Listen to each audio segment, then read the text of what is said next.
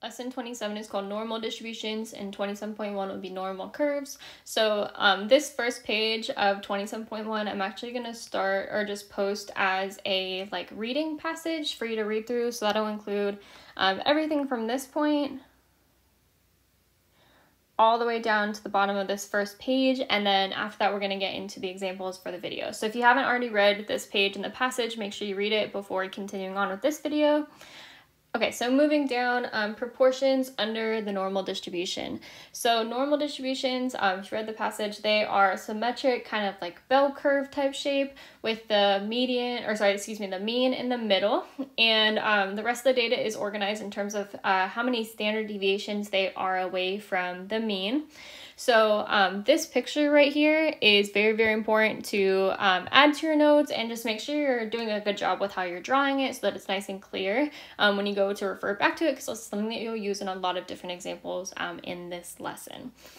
Okay, so um, for this curve, the mean is in the middle. And then each of those bars, like the ones that say like plus one, minus one, plus two, minus two, those are saying um, how many standard deviations they are away from the mean. So like this whole section right here, that is one standard deviation above the mean. And then this whole section right here is one standard deviation below the mean. So each of those um, parts of the curve, they represent about 34.1% of the overall group, the population, whatever it is.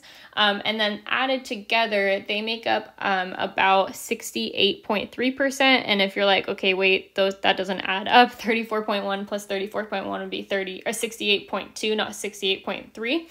All of these are approximations and they were all much longer decimals that got rounded. So um, like 34.1, it rounded to that. But um, if we were to kind of like take the longer version of the decimal and add them together, it actually ends up being closer to 68.3. Um, for this se section, in general, you see a lot of approximations, and that's just what they are. They are approximations. Um, so I wouldn't worry too much if you are getting things that are maybe a tenth or two tenths off from my answers or from answers elsewhere. Um, you'll just pick the closest one, and like I said, it should be close. It should be it should have the same whole number, um, but the decimals may be a little bit off.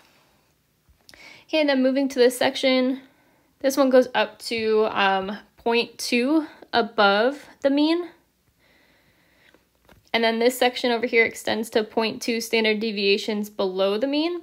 And the standard deviations can vary. So it's not like the mean plus 1 plus 2. It's the mean plus 1 standard deviation, which can be really any number. Um, and then that whole range from two standard deviations below the mean to two standard deviations above the mean, that will make up 95 point or approximately 95.4% of the data is between two standard deviations of the mean. And then the next section extends out to three standard deviations above the mean and three standard deviations below the mean. And of all the data that goes from three standard deviations below the mean to three standard deviations above the mean, that takes up approximately 99.7% of the data, so almost all the data. And then you'll see there's these little slivers over here on the far left and far right. That's anything beyond three standard deviations, which in a normal distribution, there will not be much. That's why they're so small. Um, they make up about 0.1% each of the data, um, or just that last little portion of a percent to get up to the full 100%. So all of the data combined, of course, makes up 100%. And then we can use this curve to figure out um, what percentages of populations will fall under certain standard deviations away from the mean. So that doesn't have to mean a whole lot yet, but hopefully after the examples it'll make more sense. Okay, so example one, it says find the area outside of two standard deviations above and below the mean. So we'll do this two different ways. You can decide which way makes more, more sense to you. So two standard deviations above the mean is right here, and two standard deviations below the mean is right here. So um, if we wanted to, so it says find the area outside of them. So if we needed to find the area inside, it would be like everything in between the lines. Since we're finding the area outside of them, it'll be everywhere to the like left of negative 2 and everywhere to the right of positive 2. So we would do 0.1 plus 2.2 plus 2.2 plus uh, 0.1. So that's one way. So we'll do 0.1 I'm just going to leave the percent symbols off for now, plus 2.2 plus 2.2 plus 0.1. So if we add all those up together, ends up being approximately 4.6% of the data will be above or below um, two standard deviations away from the mean. Um, the other way of finding it is we know that like all of the data is 100%.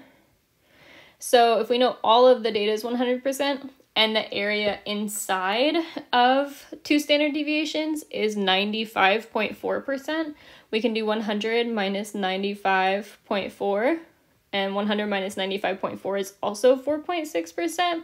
So you get the same answer either way. Um, it really just comes down to like personal preference. Um, if you want to add up each one individually or use like what we know the inside is and subtract it to get the outside. Subtract it from 100 to get the outside. Okay, example two. Jessica, Jessica records a random sample of time it's of the time it takes people to cross the street in a crosswalk. The sample has a normal distribution with a mean of 22 seconds and a standard deviation of 3 seconds. Approximately what percentage of people cross the street in 25 seconds or less? Okay, so in the picture or in our like kind of bell curve right now, we have just the mean in the middle and then standard deviations increasing um, to the left and to the right. That's what the plus one, plus two, plus three is, and so on. If we want, like in this case, we have like kind of a more real life situation, we can recreate that curve, but with the actual mean and the actual standard deviations put in there. So what I mean by that is it's kind of tight, so I'm just gonna actually like white out the numbers. So the mean it says is 22 seconds. So where mean was, I'm going to put 22. And then it also says the standard deviation is 3 seconds. So if I want to figure out what should go where the plus 1 standard deviation is, I need to add a standard deviation to 22. So I would do 22 plus 3 because the standard deviation is 3 to get 25. And then I could just continue to kind of like add three, add three, add three to go up on my, or to go to the right. So if I want to go two standard deviations away, I would add three again. That would be 28. If I need to go three standard deviations away, I would add three again. That would be 31. And then if I want to go down, I need to subtract the standard deviation. So minus one standard deviation would be 22 minus three, so 19. Minus 2 standard deviations would be minus 3 again, so it would be 16. Minus 3 standard deviations would be minus 3 again, so that would be 13. And then the question itself is asking approximately um, what percentage of people cross the street in 25 seconds or less. So for crossing the street at 25 seconds, that's right here. And then everything less than it is going to be everything to the left. So 25, 22, 19, and everything in between. So if we want to find um, what percentage of people cross the street in 25 seconds or less, we need to add all of those percentages together. So it would be 34.1 plus 34.1 plus 13.6 plus 2.2 plus 0.1. So 34.1 plus 34.1, I'll add the percent symbol after, and then plus 13.6, and then plus 2.2, and then plus 0.1. If we add all of those up together, ends up being 84.1%. So approximately 84.1% of people um, cross the street in 25 seconds or less. So in this example, we were able to figure out um, the percentage of people who cross the street in 25 seconds or less, specifically because 25 was an exact standard deviation away from the mean. So like how um, when we labeled this portion with the mean and then the like plus 3 plus 3 plus 3 to get the standard deviations above and then minus 3 to get the standard deviations below 25 was an exact number on there um, but if I had kind of asked the same question and it was approximately what percentage of people cross the street in, let's say, 20, like three seconds or less, because 23 seconds is not exactly a standard deviation away from the mean, we can't approach it the same way because even if I like try to approximate, like, so say 23 is right here, and I try to approximate like just this portion, we can't exactly say that like 23 is exactly what's like not exactly halfway, but either way, we don't really have a way of approximating what portion of that 34.1% is actually shaded or is actually covered by that 23. So you can only use this method um, when you have like an exact uh, distance away from the mean in terms of standard deviations. So when you don't, that's where 27.2 comes in. So 27.2 has got other areas under the curve, um, and the distance that you are away from the mean, um, that's something that's measured by z-score. And so, for example, like um, our distance of 25, that was like a z, it would have a z-score of 1, positive 1, because it was one uh, standard deviation above the mean. Um, really, where this next session talks about is like when we're not we don't when we don't have a whole number z-score or an integer z-score where we don't have a decimal. So um, standard normal values, also known as z-scores, um, z-score or a z-score is a measure of how far from the mean a point is and it's measured by standard deviations. So for example, if a point is two standard deviations above the mean, the z-score would be two. If the point is three standard deviations below the mean, the z-score would be negative three. So even though um, z-score is measuring like a distance, it can be positive or negative to show that um, whether it's above the mean or below the mean. The formula for finding the z-score is z equals x minus that symbol's uh, called mu and then divided by sigma, which is the standard deviation. So z for z-score and then equals x, which is um, the observed data for which you're trying to find the z-score, so like whatever you're given in the problem, um, and then minus the uh, population mean, which like in that little symbol, it's called mu, like the Pokemon. Um, so minus mu, and then divided by sigma, which is the standard deviation. Okay, so example one, you received a test score of 80. The test you took is normally distributed with a population mean of 65 and a population standard deviation of 10. What is the z-score of your test? So the formula for z-score is z equals x minus mu and then divided by sigma.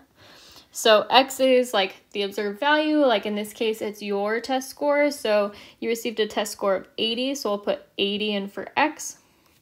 And then minus mu, which is the population mean. In this case, the population mean is 65, so we'll put that in for mu. And then um, divided by sigma, which is standard deviation, which is 10 in this case. So standard deviation, sorry, standard deviation will go in for sigma. So it'll be 80 for x minus 65 for the population mean, mu, and then divided by the standard deviation, which is 10. So um, 80 minus 65 is 15, and then 15 divided by 10 is 1.5. So we ended up with a z-score of 1.5, and that means that our test score is 1.5 standard deviations away from the mean. So I have a little visual of like this z-score on the bell curve to the right. So z-score is right here. And if we wanted to treat this problem like this one up here, we wouldn't be able to really find an exact answer because we don't know what portion of um, its like kind of individual section our z-score lands. So what I mean by that is like up here, we know that that section from, hold on, from here to here is 13.6% of the data. Um, but we don't exactly know how much of that data is like before or after our um, z-score because it's not really like um, equal, you know, like this portion is definitely bigger than this portion over here. So when you don't have a, or sorry, when your z-score is not like an integer, so it's like a positive or negative number with no decimals. Um, when it's not an integer, you have to use something called like a z-score table to find the percentage that's beneath that z-score. So in this case, we would have to do something like that.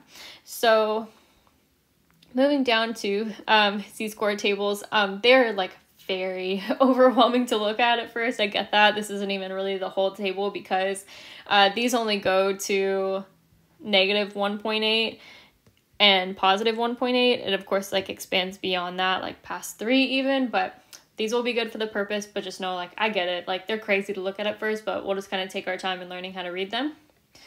So to find on the area of data under non-integer z-scores, you can use a z-score table. So again, non-integer is like something with a decimal.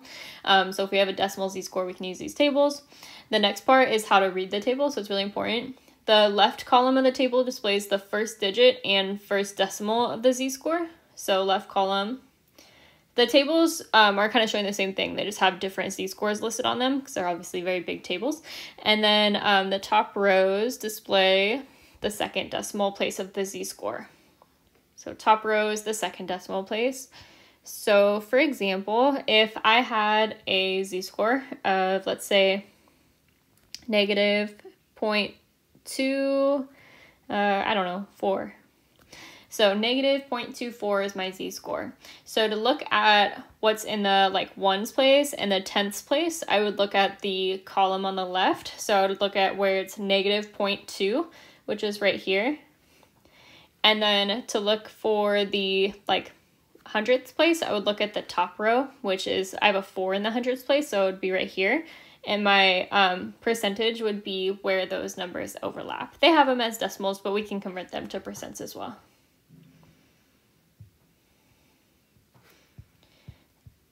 Okay, so these next examples will really get into like how to use these z-score tables. So Example 2, the average cost of dishwashers sold by an appliance company is $502 with a standard deviation of $84. Assume that the company's dishwasher prices are normally distributed. You decide to purchase a dishwasher from this company for $400. What are the or what percentage of dishwashers sold by this company are sold for less than $400? So, in order to figure out how um, many dishwashers, what percentage are less than that 400, which we spent, we have to find the z score of what we spent, um, which the z scores are showing, you know, how much did our cost vary from the mean. So the z-score formula, I'm just going to sneak it up here, is z equals x minus mu and then over sigma. So x is, like in this case, it's the cost of our dishwasher. So uh, we paid $400, so we'll put 400 in for x. And then mu is the population mean, which that's like average. So the average cost of the dishwasher sold by this store was $502. So we'll put that in for mu. And then sigma is the standard deviation. So it says the standard deviation is $84.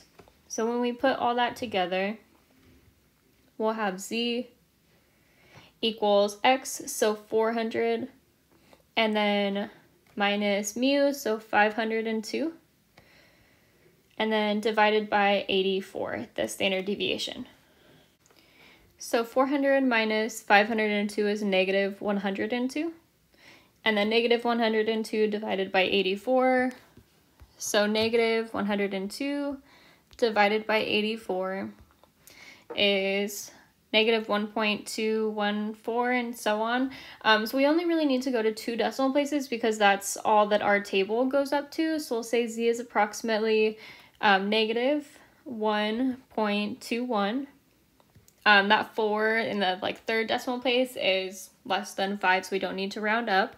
So our z-score is negative 1.21. So just to kind of create a visual of that, that would end up something like about right here. And we're looking for um, what percentage were sold for less than 400. So everything less than $400 would be to the left of our z-score, so over here. So kind of seeing that visual sometimes is very helpful in like getting an idea of how much or what percentage will be less than 400 because that's a pretty small section of our bell curve. So we should have a fairly small percentage definitely less than 50% probably less than 25% okay so we have our z-score it's negative um, 1.21 so the first or like the whole number and the first decimal that's going to be on the column on the left and then the second decimal is going to be the row on the top. So we're going to look for a negative 1.2 so that's right here. So negative 1.2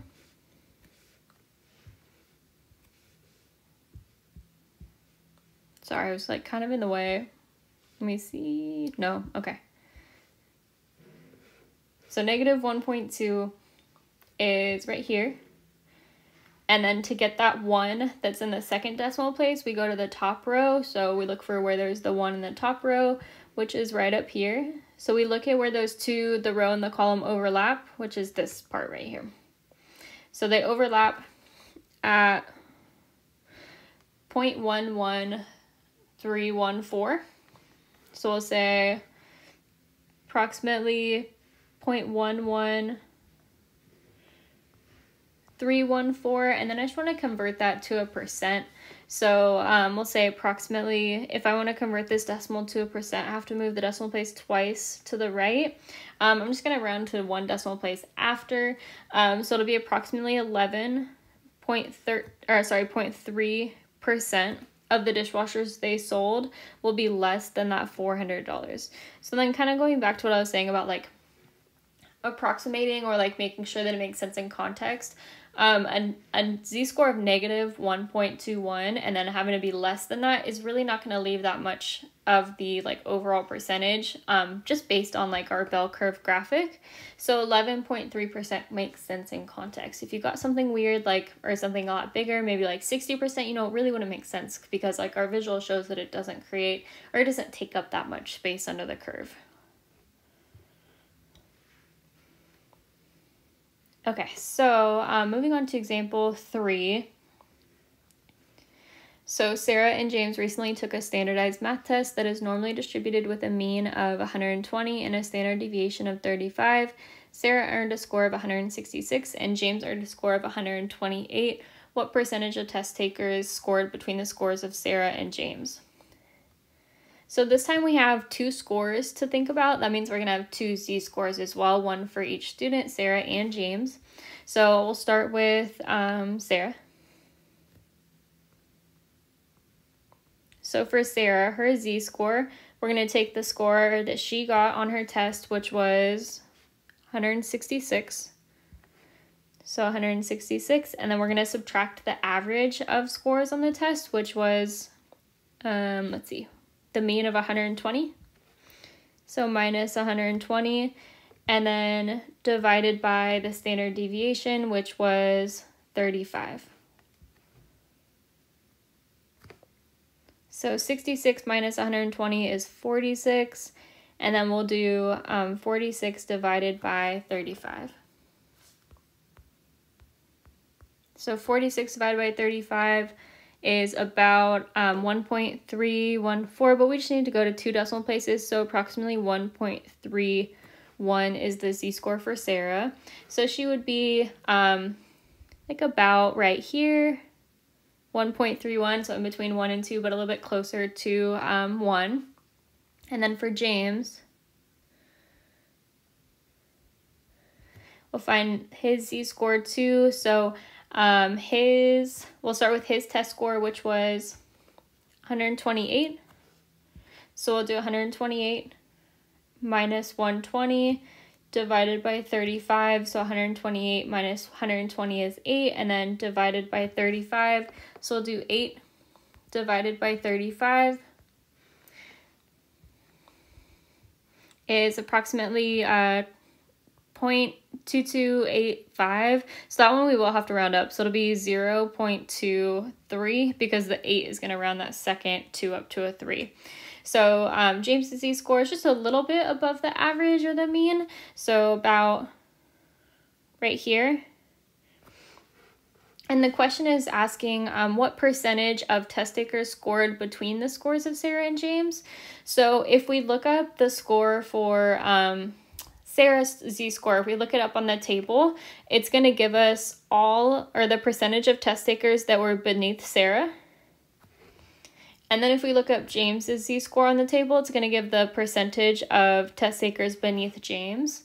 So if we subtract those two, we do like Sarah's minus James, it's going to give us that difference in the middle. It's going to give us how many are in between them.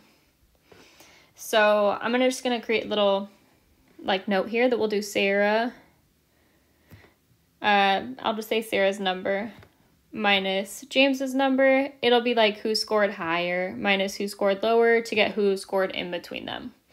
And then now we just need to find each of their z-scores. So Sarah's was, uh, or not z-scores, but um, percent from the z-score table. So Sarah's z-score was 1.31. So the first two numbers were 1.3, and then the second number, or the second decimal is 1. So to find that, we'll go to 1.3 on the z-score table. Notice now I'm on the positive side, so it's a positive 1.3. And then the second decimal place was a 1. So on the top, I'll look for the like 0.01 and we'll see where they overlap. Um, and that's at 0.9049. So for Sarah's percent, do 0.90490. And that's the percentage of people who scored um, less than her because she got a pretty high score compared to the mean. So there is a high percentage, about 90% of students who scored less than her. And then for James, um, his Z score was 0.23. So um, the first two numbers, 0.2. So we'll look for 0.2 on the left. Right there, again, positive, so we're on the positive table. And then 3 was the second decimal place, so we go to the like 0.03 up here, look at where they overlap, and that's at 0.9 or 0.59095. So for James, it'll be 0 five nine zero nine five. Let me just make sure I got it right. Yeah. So James's is right here. So 0.23. And then Sarah's was over here, 1.31. And then from there, we'll subtract them. So we'll do 0.90490 and then minus 0.590 nine five. So ends up being uh, 0.31395. And then I'm just going to convert it to a percent. So I'll move the decimal twice to the right. And then I'll round to probably just one decimal place after the, or when it's in percent form. So we'll say approximately 31 point, um, this 9 is going to round the 3 up to a 4. So approximately 31.4% of students scored between the two. So in order to figure out, you'll see some questions in the checkpoint and in the um, exam on the exam. Um, in order to find like the percent that is between two values, you have to find each of their individual z-scores, find the percent for each one on the table, and then subtract the two.